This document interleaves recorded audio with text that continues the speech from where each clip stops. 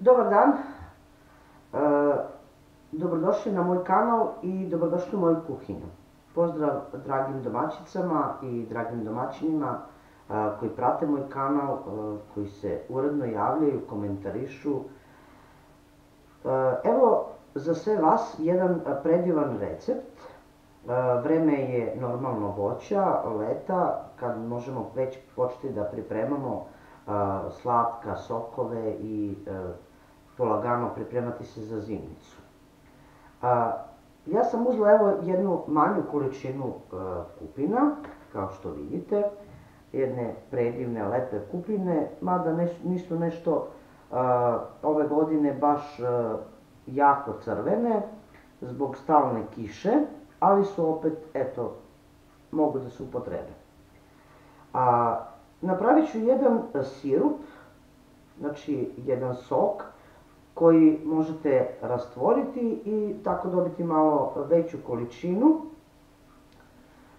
Pravit ću ga bez konzervansa na jedan e, starinski način, e, tako što ćemo i sami vidjeti, sterilisati i e, početno flaše, a i kasnije izvršiti pasterizaciju tog soka, tako da nam neće trebati nikakav konzervans, ničeg, sasvim prirodno, na jedan, kao što rekao, starinski način. Ja tu imam e, negde oko 2 kg kupina i na to ću ja dodati jednu kesicu limontusa.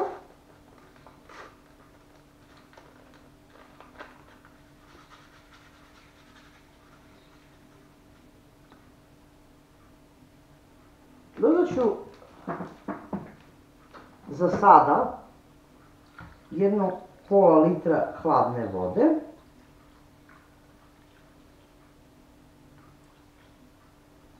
I pošto kupine jako, kao i drugo bobičasto voće, jako farbaju ruke, a, ja ću to lepo ovako rukavicom, znači koliko možete da izgnječite ove kupine. Možete u nekom blenderu, ali evo ja ću na jedan, kao što rekao, starinski način, da to lepo sve izgnječim. Znači sve te bobice. I ostavit ću da odstoji jedno 3-4 sata. A kasnije ćemo vidjeti šta ćemo dalje, kako ćemo dobiti jedan predivan uh, sirup ili uh, gusti sok koji možemo rastvarati kasnije sa vodom i dobiti jedan predivan napitak i za ovako letnje dane, a možemo ga ostaviti i za zimu.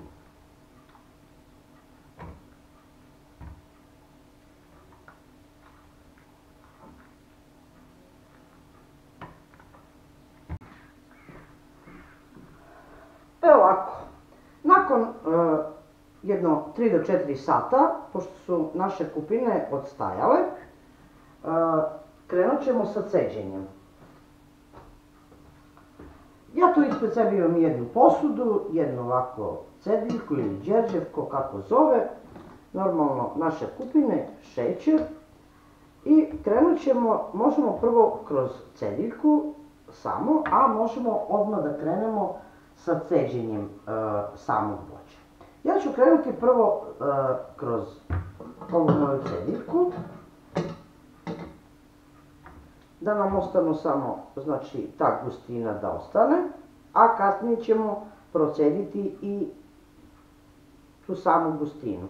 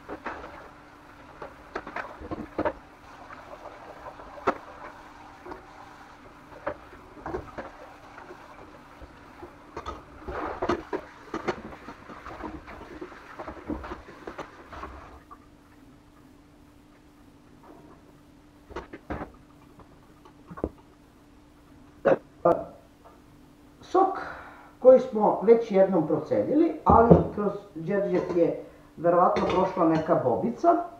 Stavit ću, stavite jednu gazu ili neko parče ovako starije zavese ili nešto gde može da prođe tečnost, ali ne može da prođu bobice ili već neka peteljka ili šta je već ostalo.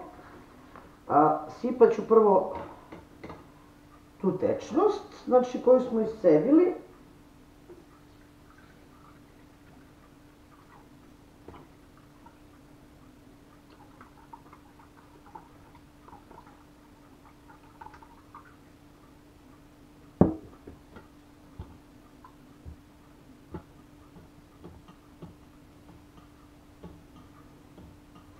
Potom ćemo iscediti a, ove bobice koje su nam preostale, znači gušću masu ćemo kasnije procediti.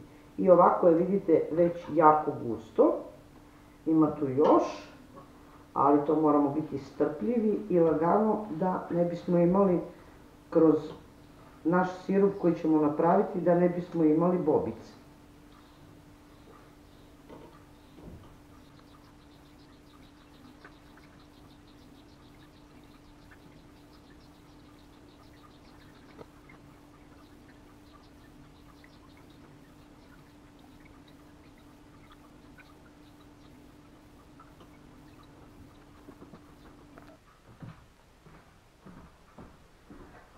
Evo ovako, pošto sam a, procedila sav sok koji sam imala iz a, kupina, evo tu je suva materija koja je ostala, na, znači 2 kg a, kupina, možda je malo nešto malo više, 100-200 grama, ali nije bitno.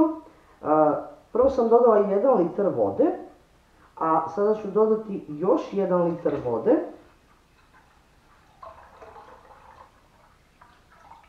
i dodat ću 2 kg šećera.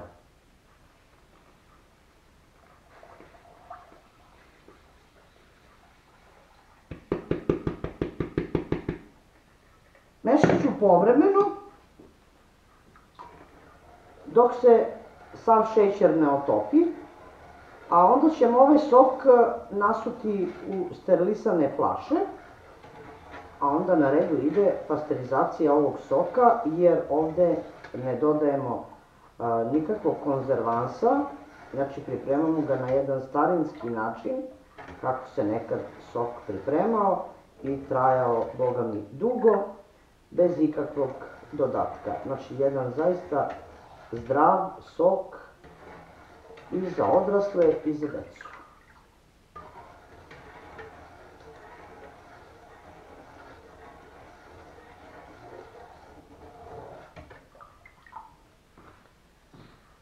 Evo, ako nastavit ćemo dalje sa radom. Pošto sam svu suvu materiju iscedila, što prvo kroz džerđev, pa onda naknadno kroz gazu ili kroz neku zavesu, nešto što neće propustiti one sitne bobice koje imaju kupine i da bismo dobili ovako jednu, jedan sok koji je zaista predivan i gust. Evo vidite, baš je, baš je sok gust za rastvaranje, možete znači dodati pola, pola vode, pola soka, ko kako voli e, slatko. A, ja sam dobila tu pet flaše i jednu čašu, to je negdje otprilike oko 4 litra, znači soka na rastvaranje. Šta ćemo dalje raditi? Da bismo dobili jako ovako zdrav jedan sok, a, a da ne bismo dodali e, niti konzervans, niti e, bilo koji drugi E, aditiv da bi sprečio e, buđenje ili kvarenje ovog soka. E, uzet ćemo jednu najobičniju šerpu, znači radit ćemo pasterizaciju ovog soka. I uzet ćemo jednu sasvim običnu krpu. Krpu ćemo staviti na dno prazne posude, šerpe, šta već. Svaku flašku ćemo lepo zatvoriti i poređati u šerpu.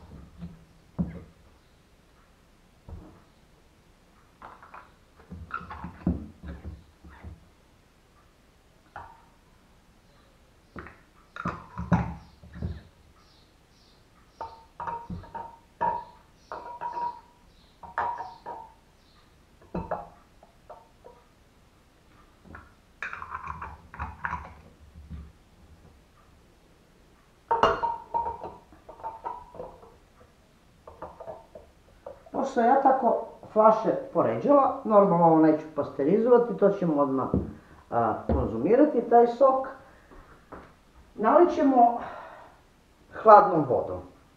Znači, a, prvo, svaka flaša koju ste zatvorili ne smije biti do vrha puna. Bar jedno 2 cm ili širina jednog prsta mora biti otprazna, jer a, vodu koju ću naliti zahvatit će površinu negde do polovina flaše. E sad, zavisno od čerpe, koliko ćete dodati vodu.